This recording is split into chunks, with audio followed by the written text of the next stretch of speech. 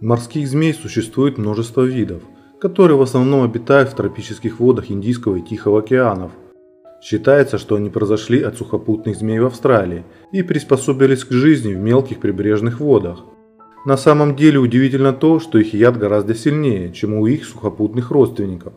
Причина такой ядовитости заключается в том, что они едят рыбу, и это означает, что они должны как можно быстрее обездвижить свою жертву, чтобы предотвратить ее побег и не позволить себя ранить. Кроме того, рыбы менее чувствительны к змеиному яду, чем теплокровные животные, поэтому яд этих змей должен быть более токсичный. Его действие подобно действию яда кобры и других представителей семейства аспидовых, не вызывает кровоизлияния и опухолей, а подавляет передачу нервных импульсов, что приводит к дыхательному параличу и быстрой гибели укушенного животного. Анатомия морских змей сильно отличается от сухопутных змей. При этом в первую очередь заметна сплющенность хвоста с боков. Это связано с тем, что это повышает их подвижность в морской среде. У морских змей правая легкая сильно увеличена и доходит до хвоста. Частично легкая служит гидростатическим органом, наподобие плавательного пузыря у рыб, Морская змея не может захлебнуться и утонуть, хотя у нее и нет жабр. Поднявшись на поверхность, она выставляет из воды кончик морды с ноздрями и вдыхает воздух единственное легкое. Чтобы при нырянии вода не проникла в дыхательные пути, ноздри снабжены специальными запирающими клапанами. На самом деле есть две причины, почему морские змеи считаются гораздо менее опасными, чем сухопутные змеи. Во-первых, они, как правило, застенчивые и гораздо менее агрессивные. Кроме того, они, как правило, совершают сухой укус, то есть яд не вводится. Очень маловероятно, что в человека могут ввести яд. И хорошей новостью является то, что существуют определенные противоядия. Из всех видов морских змей существует три вида, которые заслуживают упоминания. Носатая энгидрина является одной из самых ядовитых змей на Земле. Ее яд почти 8 раз сильнее, чем у кобры. Одной капли достаточно, чтобы убить троих человек. Ее также считают более агрессивной, чем большинство других морских змей. Яд носатой энгидрины содержит как нейротоксины, так и миотоксины, в то время как первые убьют вас благодаря дыхательному параличу, вторые начнут расщеплять мышцы, причиняя мучительную боль. Несмотря на эти признаки, известно о нескольких смертельных случаях, в которых виновна эта змея. Она чаще встречается в более глубоких водах. Большинство укусов доставались рыбакам во время проверки своих сетей. Второй морской змеей, которая достойна упоминания, является морская змея Белчера, потому что она часто упоминается как змея, обладающая сильным ядом. Часто утверждается, что ее яд в 100 раз сильнее, чем даже у тайпана Макоя. Это некоторое преувеличение, но яд безусловно как у тайпана. Хорошая новость. Морская змея Белчера часто описывается как обладающая дружественным характером. Самой ядовитой морской змеей считается морская змея Дюбуа, которая после тайпана Макоя и восточной коричневой змеи третья по ядовитости змея в мире. Она обладает средней агрессивностью, то есть будет кусаться, если ее спровоцировать, но не спонтанно. Недавнее исследование, опубликованное 19 августа 2021 года, сообщает, что морские змеи нападают на людей, по-видимому, в результате ошибочной идентификации во время сексуальных игр.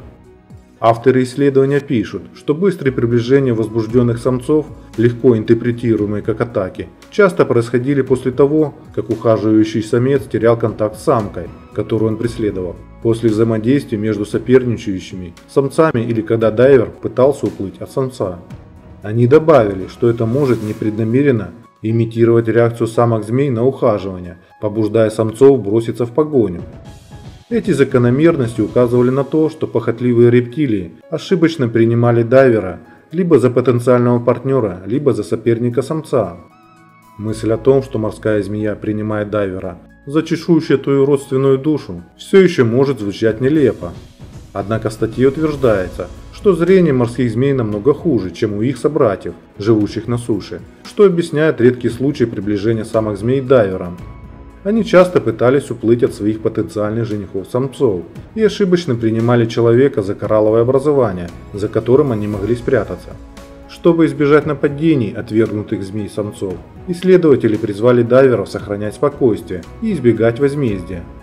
Лучшая стратегия для дайвера в такой ситуации может заключаться в том, чтобы позволить змее исследовать их, и в частности позволить змее исследовать химические сигналы своим языком, написала команда в исследовании.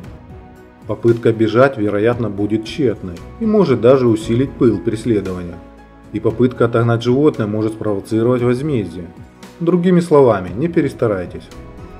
В Австралии только на северном побережье, на котором обитает более 32 видов морских змей, за последние 80 лет зафиксирована только одна смерть от укуса морской змеи. Этот шокирующий инцидент произошел в 2018 году с 23-летним британским рыбаком Гарри Эвансоном, которого укусил полосатый морской крайт, запутавшись в креветочной сети у северо-востока Австралии. Рыбаки поднимали сеть, и там была змея, которая и укусила Гарри.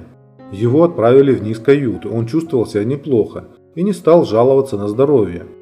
Гарри сказал коллеге, что он чувствует себя прекрасно, собирается принять душ и положить антисептик на укус. Его мама Шерон сказала, он не суетился, тогда его глаза закатились, и он некоторое время терял и снова приходил в сознание. Они были в четырех часах от суши. В этом районе находились другие лодки, и они бросились помогать. Но было очень мало времени, мы просто не можем поверить в то, что произошло. Ему невероятно не повезло.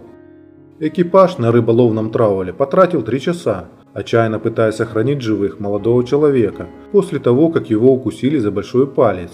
Тем не менее, его не удалось спасти. Вот в принципе и все о морских змеях. Подписывайтесь на канал, если не подписались. И до скорой встречи. Всем пока. He's just come straight at me again. Oh, how intimidating is this? Yes! Look at this! The big old dog. Please, up. Hey. Hey. Up. Hey.